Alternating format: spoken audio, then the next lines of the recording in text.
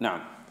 ويوم الاثنين قضى يقينا إذ أكمل الثلاث والستين.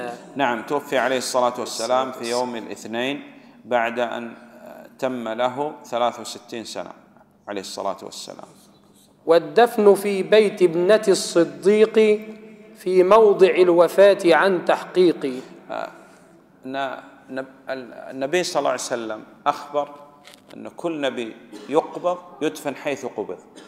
وهو عليه الصلاة والسلام عندما مرض استأذن في أن يبقى في بيت أم المؤمنين عائشة رضي الله عنها ومات في يومها في حجرها. وآخر شيء كان ريق أم المؤمنين عائشة رضي الله عنها. وهذا في فضيلة لأم المؤمنين عائشة رضي الله عنها. ودفن في حجرة عائشة وقطعا الحجرة كانت خارج المسجد النبوي لأن الذي بنى المسجد النبي صلى الله عليه وسلم الحجرات كانت خارج وعندما مات الحجرات كانت خارج المسجد. إدخال الحجرات إلى المسجد كان بعد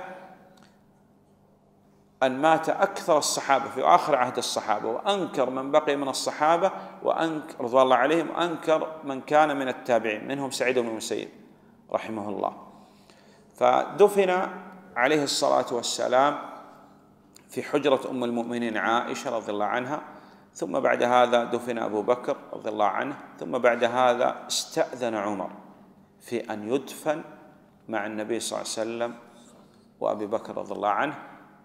فأم المؤمنين عائشة آثرته بهذا المكان وهذا فيه أنه يصح الإيثار في المستحبات.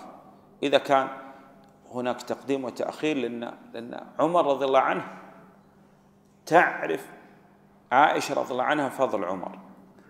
وبهذا كانت الصحبة في الدنيا وكذلك في القبر. وهذا فيه فضل لأبي بكر وعمر رضي الله عنهما. هذا الموضع بعد أن دفن عمر رضي الله عنه أغلقت هذه الغرفة. لا أحد يرى تربة القبر. فهذا الكلام الذي تسمع هذا كذب وافتراء. دعا النبي صلى الله عليه وسلم قال اللهم لا تجعل قبري وثنا يعبد من دون الله. ودعا بأن لا يجعل القبر الذي قد ضمه وثنا من الأوثان.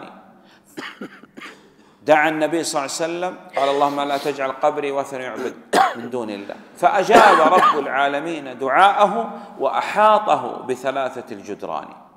محاط القبر بجدران ثلاثة. لا أحد يستطيع أن يرى تربة القبر. بيننا وبين القبر أكثر من ثلاثة جدران. هذا تسمع كذب. دفن النبي صلى الله عليه وسلم صلى الصحابة رضوان الله عليهم على النبي صلى الله عليه وسلم فرادا. نعم فاطمة رضي الله عنها عندما سألت رأت الصحابة رجعوا من دفن النبي صلى الله عليه وسلم. قالت لهم كيف طابت أنفسكم أن تحثوا الثراب على رسول الله عليه الصلاة والسلام؟ نعم.